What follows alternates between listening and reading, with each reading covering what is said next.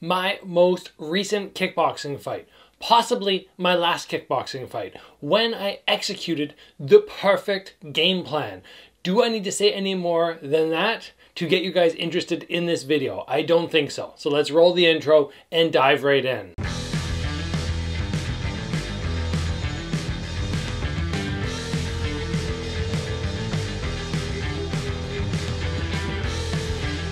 The very first thing I want to address is when somebody says such a bold statement like the perfect game plan, the perfect execution.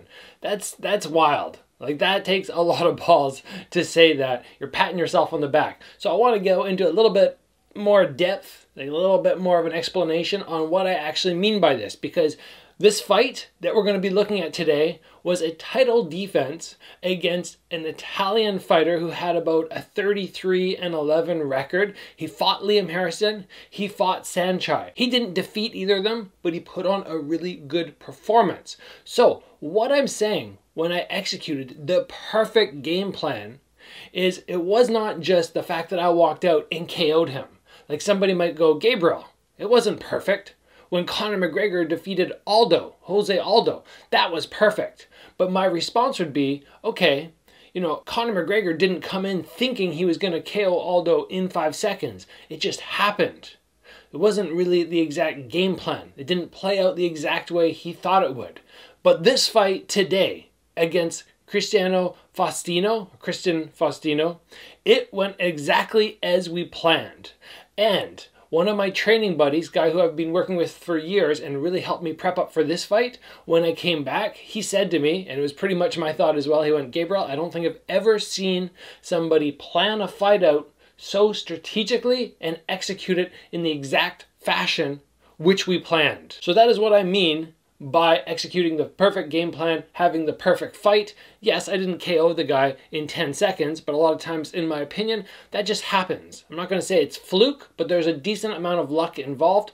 Everything you see in this fight, everything that I execute, was game planned and practiced for months to make it happen the exact way it did. So throughout this video, I'm going to do a little bit of a breakdown of all the instances where things went right. I'm going to show you video footage. And the first thing we're going to start with is we looked at Faustino and we went, early on, I feel like I can outbox this guy. I can throw really fast combinations, let my hands fly, and literally, I guess, uh, excuse the pun, but beat him to the punch. And from the early onset, you saw me execute this so well box, box, box, box, and just throwing really beautiful, crisp hands, leaving myself completely covered up. We drilled this over and over, throw really fast combos, no openings whatsoever, and just be the first guy in and then exit before Faustino can get his punches off. Now, as you guys know, I'm a big fan of watching previous fights of my opponents and looking at what they're really good at and what they're not great at. Now, we watch this guy compete against Liam Harrison. Liam Harrison has one of the scariest low kicks of anybody in the whole world. Faustino took a lot of them, got a little bit hurt, switched his stance, and then went back to his regular stance and then seemed fine. We went, holy smokes, if Liam Harrison cannot put this guy down with low kicks, I cannot put him down, but he's easy to score on. So instead of trying to hurt him to the leg, score to the leg over and over early on and just make sure you're touching him. You're touching him, you're touching him. Try to get a little bit of a drop on that and often set it up behind punches. We threw those punches, got those hand combos, which I just mentioned, underway. And then when he was busy and occupied with those, kaboom, drop down the kick. Again, not working loads of power because Faustino is able to check the kicks quite well. But just make sure they're landing Make sure you're not loading up, giving him the opportunity to check. Just land and land and land. And then as we get later in the fight, it's going to be harder to land that because he'll pick up on the game plan, but it was a good idea for the early stages of the fight. Now, even though I had a game plan to throw my own low kicks, I also knew that Faustino very rarely throws kicks up to head level, sometimes to body level, but he throws a lot of low kicks. And even though he's not somebody who's going to chop my leg down, I went, why bother taking low kicks when I can check them. So we train for this camp. Check the low kick, throw the hand combo, check the low kick, check the low kick, throw back, check the low kick. And I executed so well. And actually, when the fight was finished, my thigh was 100% fine, which it usually is because I condition it.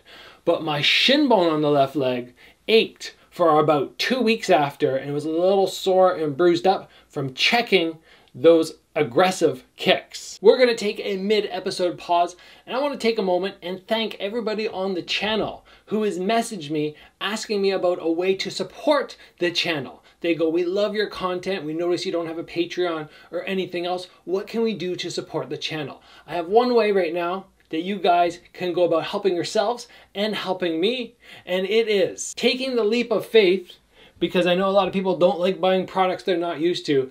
Get yourself some magnesium from Bioptimizers. This company has not only supported me in my last fight camp in an unprecedented way, but they also support the channel. Their product makes me feel so darn good. I can't believe the recovery I had in my last camp.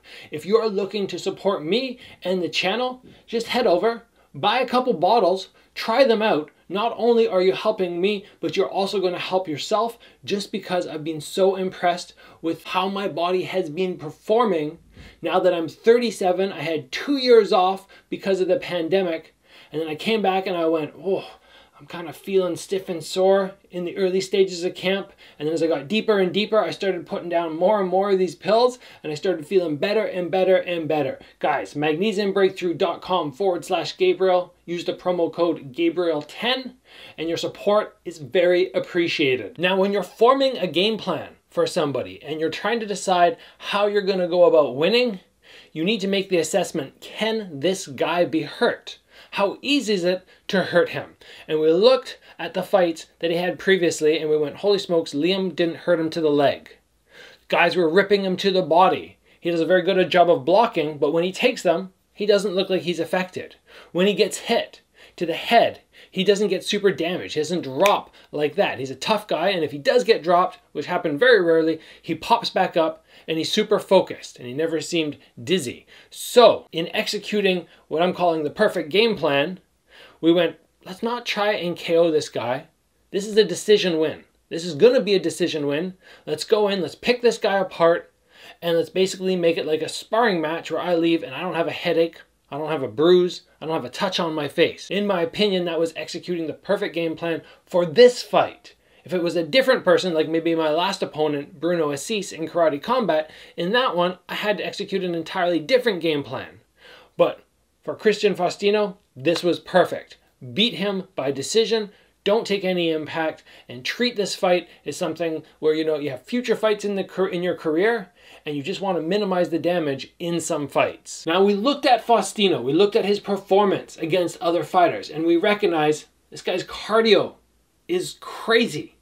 And normally, I am somebody who likes to bring the cardio. But because Faustino had such good cardio, and because he does have that ability to just keep going and going and going, he likes to move forward. So we decided that instead of my normal fight style where I'll go forward, we're going to utilize movement. We're going to throw some punches, we're going to take an angle. He comes towards me, I back up. I stop him, I take an angle. This fight was very much based upon movement, which you don't normally see me execute in other fights. I stand my ground. And that's one of the reasons I was so happy with the outcome of this fight and the decision, the game plan, everything. The movement was a priority. Now, as we were just saying, movement is a priority because this guy has such good cardio. So what do you have to do when somebody has really good cardio? Well, you have to not waste energy. So I talked about movement. Movement, as long as you're not being too reckless with it, is okay. You're running around, it's going to get exhausting. But in this clip here, you're going to just see how I go about making sure that I don't overexert energy and I maintain as much as possible. Strike, strike, strike, out of distance, make him miss. Strike, strike, strike, out of distance. Start moving, make him chase me. Conserving energy and only putting it out when necessary is a great way to keep your cardio going and going and going when you have somebody who in this instance might actually have better cardio than you. I never really say that. The person had better cardio than me or better ability to keep going throughout the fight. So if they do, why am I going to meet them head on? No, no, I'm going to conserve my energy. I'm going to be smart and I'm going to play the fight out so that I'm not the person who ever gets tired first. Now, we already talked about the movement, but something else that I recognized in this fight, like with many of my opponents, is I would have the slightly longer arms. Faustino wasn't that much shorter, but if I throw, he's going to be a little bit out of range. So being able to back up and punch with long arms, just have that little advantage, keep this guy at range was very important. And you see me execute this many times in the fight, taking advantage of the longer arms and the distance which I have over my opponent. Now in Faustino, we recognized, in spite of everything I've already said, this guy had a super tight guard. Crazy tight, and like we said, he keeps trucking forward. When you have somebody who has a crazy tight guard and you're not finding holes, you're gonna go, okay, if I throw 10, 15 punches at one level, he's gonna block them. If I throw 10 punches down here, he's gonna block them. You have to level switch. And we worked that so much in this fight. If you watch the fight in its entirety, you're very rarely gonna see me throw more than two shots at one height. It's here, down, back up, throw the low kick, or to the head a couple times, throw the low kick, back to the head, finish to the body.